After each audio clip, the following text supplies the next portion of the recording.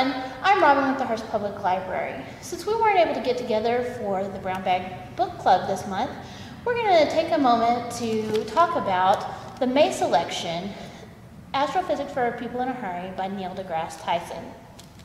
If you've read the book, please feel free to drop your thoughts in the comment field. If you haven't read the book, you can go online to our website or use your mobile app and place a hold on it and pick it up through our curbside pickup service. The book is also available through Overdrive and Libby. So let's get into the book, shall we?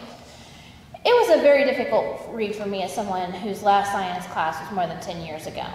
It kicks off with a fraction of a second description of the birth of the universe.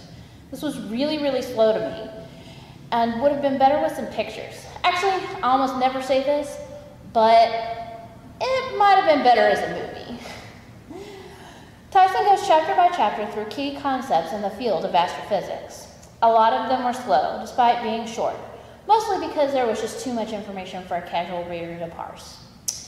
It starts to pick up about midway through when he gets into dark matter and energy. I found it fascinating to learn about how you can quantify an unknown like that. Unfortunately, it starts to lag again about the time he does 15 pages on the origins of the periodic table of elements. I did find the discussions on practical applications of astrophysics interesting and elucidating, but it hardly made up for feeling so lost through the rest of the book.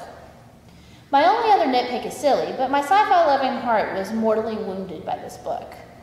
First, Tyson baldly stated that light speed travel was impossible.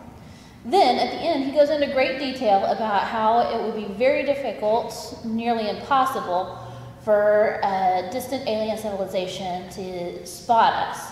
So by the end, my big takeaway was I guess the Vulcans aren't coming to make contact because they can't find us. And even if they can, they don't possess the light speed capabilities to get here.